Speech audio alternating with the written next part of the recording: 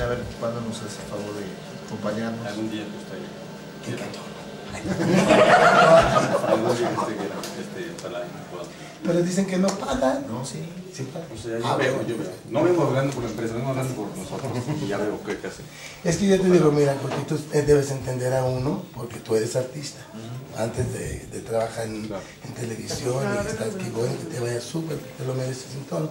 Pero los artistas nunca nos quieren pagar. Y no es justo que cuando vayamos, que cuando vamos a Argentina, Ecuador, Chile, Perú. Colombia, en todas partes nos pagan. Y en nuestro país no nos quieren pagar. Porque están acostumbrados a no pagar y piensan que porque ya nació uno en México son propiedad de Televisa. Pues no, tienen que pagar. Y te digo otra cosa, Guillermo. Todo lo que yo gano de televisión, todo va directamente a Semillas y yo no cojo ningún cinco. Aparte de mi trabajo. ¿Me entiendes? Pero tú nos permites que podamos intentarlo nosotros y hacer Mira, una propuesta. Sí, claro que sí, hasta es que indecorosa. piensa. Sí, re- realmente lo que decía Memo, ¿no? Nosotros lo que primero queríamos hablar con usted y, y hacer una propuesta, ¿no? Bueno, más bien ellos, porque yo... A mí No, también- mira, con los a mí también artistas- no me pagan. no, mira, con- lo que el no justo. uno no puede discutir. Claro. ¿Comprendes? Yo contigo no puedo discutir. Porque hay un respeto, porque tú eres artista, aparte eres de un hijo de un gran señor artista, que, que eso no, no- nunca te va a permitir a ti decirme lo que sientes si nos peleamos, porque eso nos detiene, es algo sagrado. ¿Entiendes? Pero con el Señor. Yo no vine a pelear. Yo, yo, yo. No, No, yo, yo sé que casi no de negocio. No, sí, pero, pero yo, independientemente de la empresa, nosotros. Mire, Televisa no, siempre se ha enojado porque no voy, pero he ido las veces que he tenido que ir. Claro. Las veces que me han necesitado, porque en la vida Pues, ya sabe que todo es recíproco. Me necesitaron, nos necesitamos, los necesité, nos necesitamos. Pero llega un momento en que uno tiene que, todo trabajo tiene que ser remunerable. Tienes toda la razón. ¿verdad? Yo no le digo que, hombre, una cosa que no se pueda pagar, no. Pero aparte, el programa que ustedes hagan con uno, en general hablo, ¿eh? no, no de usted, luego lo andan vendiendo, inclusive a los productos nocivos de salud, que uno mismo ni siquiera es capaz de vendérselo al presidente, o al Claro. tequila sausa, o a los esto, o a los otros, ¿comprende? Los Es un abuso de confianza tras abuso de confianza, tras abuso de confianza, y las cosas tienen que ser así, de relación. Hoy en día tiene que ser todo de relación. Claro. Ya no es cuánto tienes, cuánto quieres, sino a quién conoces también. Pero el trabajo sí se tiene que remunerar, poquito, regular o mucho. Y le vuelvo a repetir, no es un dinero que yo quiero para mí, es un dinero que va directamente a una causa Para Estela. Pobre de para los niños pobres de... Para mis niños pobres míos. Mi admiración a y por supuesto decir que nos encantaría en algún momento dado yo veré con, con su gente y haremos una propuesta para que podamos hacer algo futuro. Pero Claro que básicamente sí, con mucho pues, gusto. Lo mismo que le digo a usted, le he dicho al señor este Adal Ramones, que, que también quisiera que fuera, porque de él estamos en el mundo. Pero, pero tiene que ser así, porque no es justo, papá. Mira, No, cuando voy a Venezuela, No, por cuatro a canciones, por cinco canciones, ¿Sí? me pagan 50 mil dólares. Ok, yo después, después de las 3 ya Y yo, y yo vengo a, a- a mi tierra, y, aparte te persiguen, te meten las cámaras ahí para hacerte una canción, dos, tres, van haciendo su marranito, su guarradito, y encima hablan mal de usted.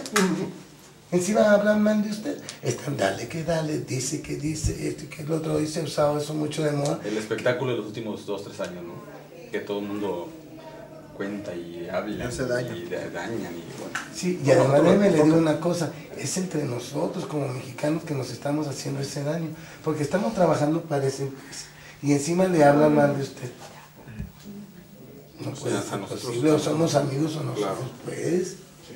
¿no? Hay que hablar mal de otros cabrones, pero ¿por qué de No, nosotros? estamos, estamos ahí todos los días y nos toca, nos toca, a nosotros nos toca y ahí trabajamos Mira, todos los días. porque un día en, en- en un cacique de mi pueblo donde yo nací, que, lo, que fue a salvar a un muchacho que lo metieron a la cárcel. Y la mamá le suplicaba que por favor lo fuera a ayudar. Le dijo, ok, él era el cacique del pueblo que ponía y quitaba a los presidentes municipales de ahí. Entonces pues lo sacó. Y dijo, oye, ¿por qué, qué, por qué, qué onda? ¿Por qué robaste tú? No, es que yo que tenía hambre esto, que lo otro, que otro, que vino, que fue. Dice, pero mira, roba. Si te gusta a ti, roba, está muy bien, pero no robes aquí, cabrón. Me ha robado otros pueblos, tráete todo aquí, protegemos. Pero no robes aquí, no la friegues.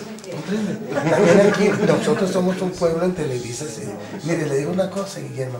Yo me he peleado con Televisa, ya sé que hemos estado así con nuestras diferencias, pero nunca me he ido a ningún otro lado. Yo nunca he ido a Televisión Azteca, ni he ido a ningún otro lado, ¿comprendes?